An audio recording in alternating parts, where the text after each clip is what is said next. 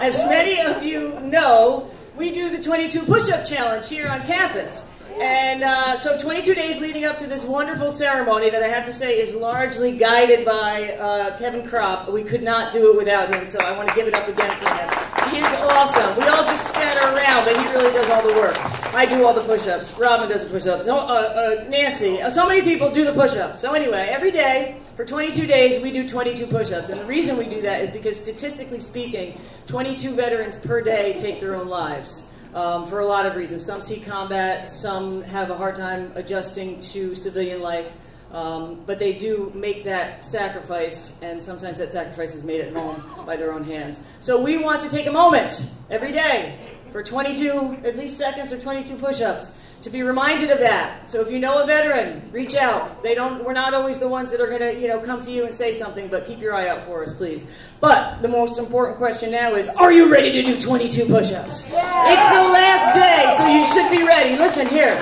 You don't have to be able to do a push-up from your toes. You can go against the wall and do it like this. You can do it on the edge of a table. You can do it on the edge of a chair. You can do it in your mind and just count with us.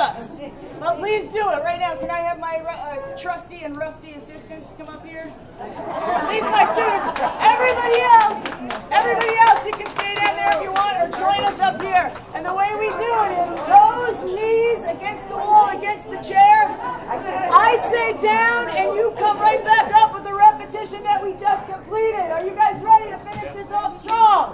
Ready? Okay, bring it down. All together. Exercise. Down. One. Down. Two.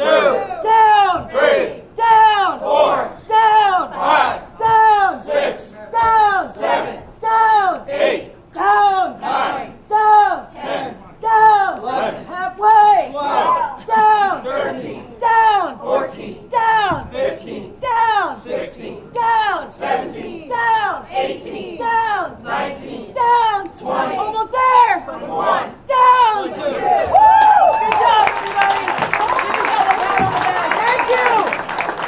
And we'll be continuing our push-up challenge for different causes, so don't worry, you won't be left out.